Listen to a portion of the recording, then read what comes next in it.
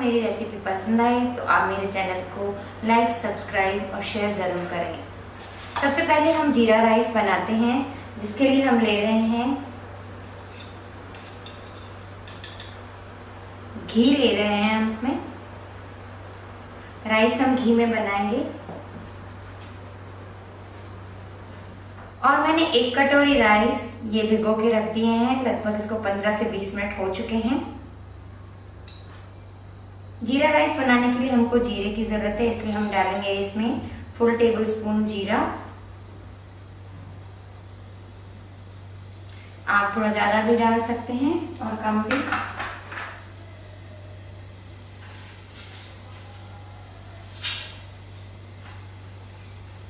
मैंने ये मीठी नीम की पत्ती, करी लीव्स सुखो के रखी हैं। मैं इसमें डाल रही हूँ मीठी नीम की पत्तियाँ। जितने चावल डाले जाते हैं, उससे डबल हम पानी डालते हैं। इसलिए हम डालेंगे एक कटोरी पर लगभग दो कटोरी से थोड़ा सा ज़्यादा पानी।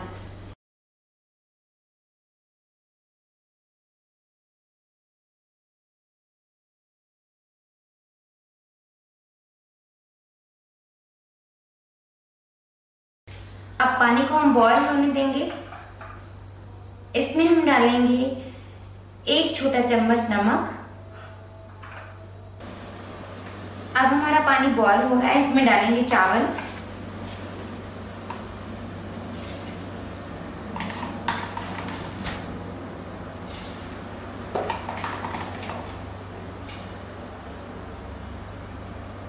हल्का सा इसको चला लेंगे।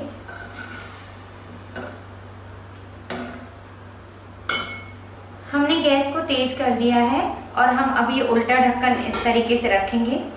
और ताकि ये पानी जो उबाल आता है तो निकल के बाहर गैस पे ना आ जाए, इसलिए थोड़ा सा इसको हल्का हमने खुला रखा है। अब हम करते हैं राजमा की तैयारी।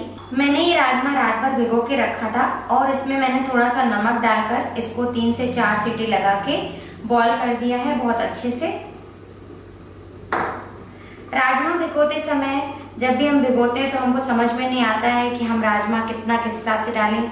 जिस तरह से मैं डालती हूँ, मैं उस तरीके से आपको बताती हूँ। आपका अंदाज अपना होगा डालने का। पर अगर हमको कभी एक गैस दो ज़्यादा आ जाता है तो हमको लगता है कि पूरा होगा कि नहीं। तो हम उस हिसाब से डालते हूँ। मैं डालती हूँ राजमा इस तरीके से। लगभग मैं ऐसे हल्की सी मुट्ठी एक पर्सन की ले लेती हूँ। फिर उस हिसाब से ये दो, ये तीन, ये चार। ये देखिए, लगभग चार जनों का राजमा इतना सफिशियंट हो जाता है। तो आप इस तरीके का नाप भी आप राजमा में ले सकते हैं। छोले भी इसी तरीके से आप नाप सकते हैं।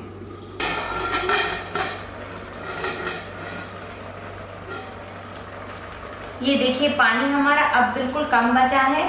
अब हम गैस को स्लो पे कर देंगे और ढक्कन बिल्कुल बंद कर देंगे जब तक हमारे चावल सिम पे पके, तब तक हम बनाते हैं राजमा।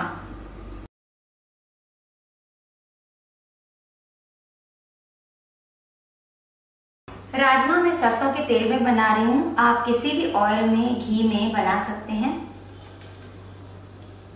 ये मैंने ले लिया सरसों का तेल।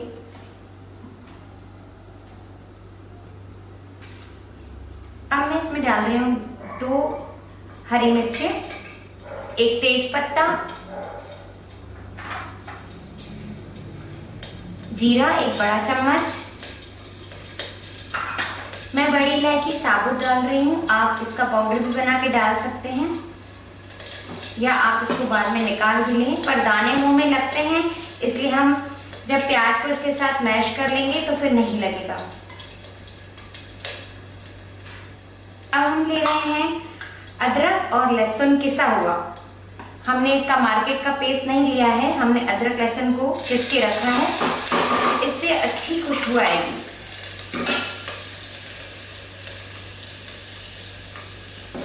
इससे आपकी सब्ज़ी में बहुत अच्छा फ्लेवर आएगा।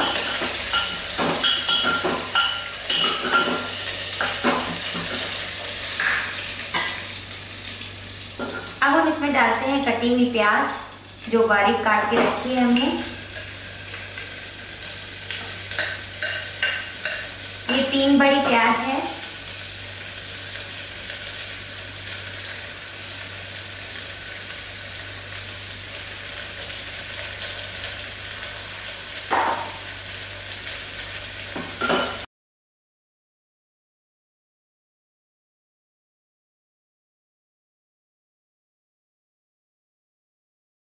गैस को हमने तेज आँच पे बुक कर लिया है।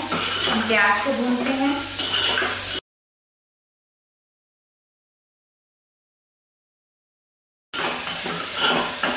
जब तक हमारी प्याज लाल हो हम उसको भूनते हैं हम चावल को देख लेते हैं जब तक हमारे चावल बन चुके होंगे।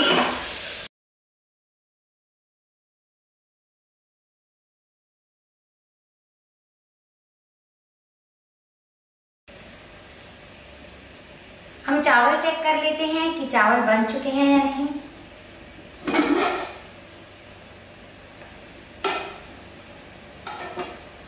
हमारे जीरा राइस बन चुके हैं।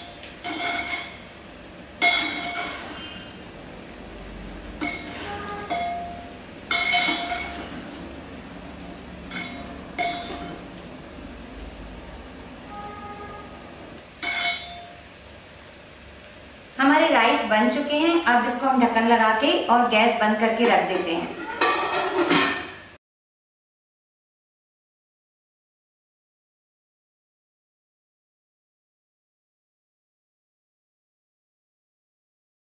हमारा प्याज भी देखिए, ये कलर आ चुका है थोड़ा सा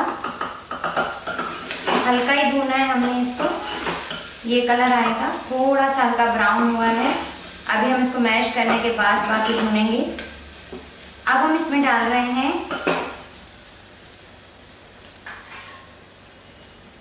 कश्मीरी लाल मिर्च one tablespoon half tablespoon हल्दी पाउडर हमने चार टमाटर की प्यूरी बना के रखी है, अब हम इसमें डालेंगे टमाटर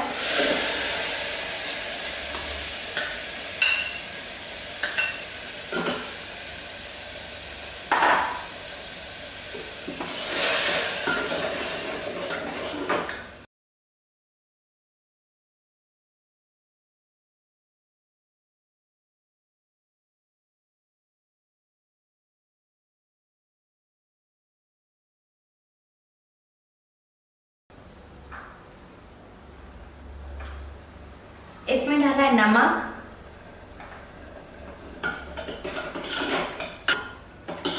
अब हम इसको ग्राइंडर से ग्राइंड कर लेंगे।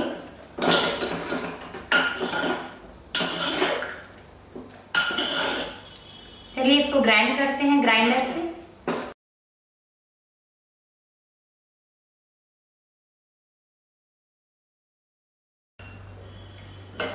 हमने इसको ग्राइंडर से ग्राइंड कर लिया है। अब इसमें डालेंगे राजमा। राजमा का पानी हम अभी नहीं डालेंगे, सिर्फ़ राजमा डाल रहे हैं।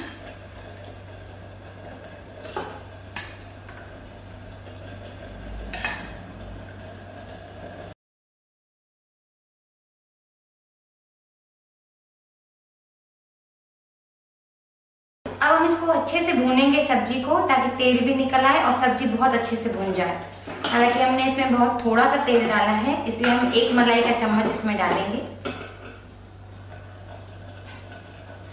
मैं डाल रही हूँ इसमें कसूरी मेथी।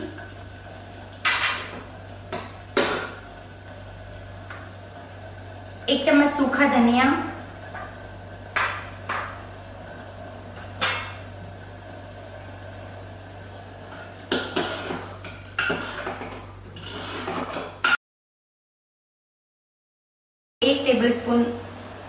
की दूध की मलाई। एक चम्मच इसमें मैंने फ्रेश क्रीम डाला।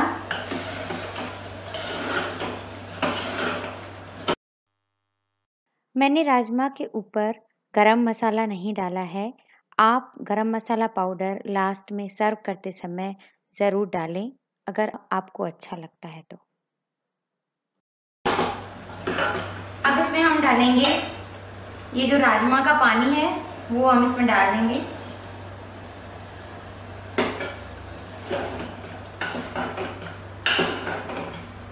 अब हम इसमें थोड़ा और पानी डालेंगे, क्योंकि हमको ग्रेवी रस चाहिए। बहुत ही अच्छे राजमा बनेंगे हमारे।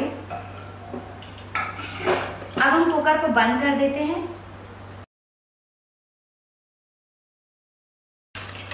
कुकर को हम बंद कर देते हैं और सिम पर हम इसको एक सीटी लगा देते हैं। हमने इसको पाँच से सात मिनट सिम पे रखा था। अब हम देखते हैं अपने राजमा को।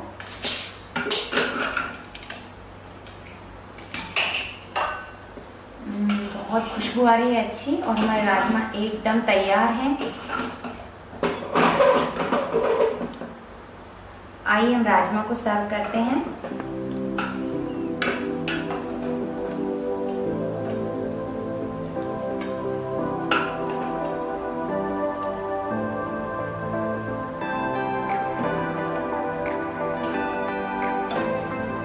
और हमने जो जीरा राइस बनाया है उनको भी सर्व करते हैं।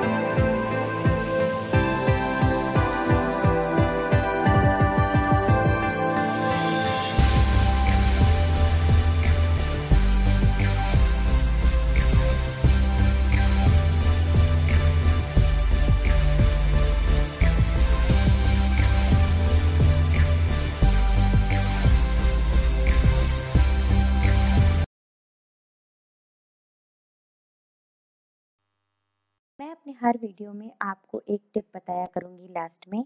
आज की टिप ये है कि जब आप ओवरनाइट अगर राजमा भिगो नहीं पाते हैं या छोले नहीं भिगा पाए हैं और आपको दोपहर में छोले बनाने हैं तो आप उनको एक हॉट पॉट लेके फुल गर्म पानी करके उसमें डाल दीजिए और साथ में सोडा डाल दीजिए और हॉट पॉट बंद कर दीजिए। इससे राजमा फूल जाएँगे या छोले फूल जाएँगे और दो तीन घंटे में ही आप उनका यूज़, लगभग तीन घंटे में आप उनका यूज़ कर सकते हैं। धन्यवाद।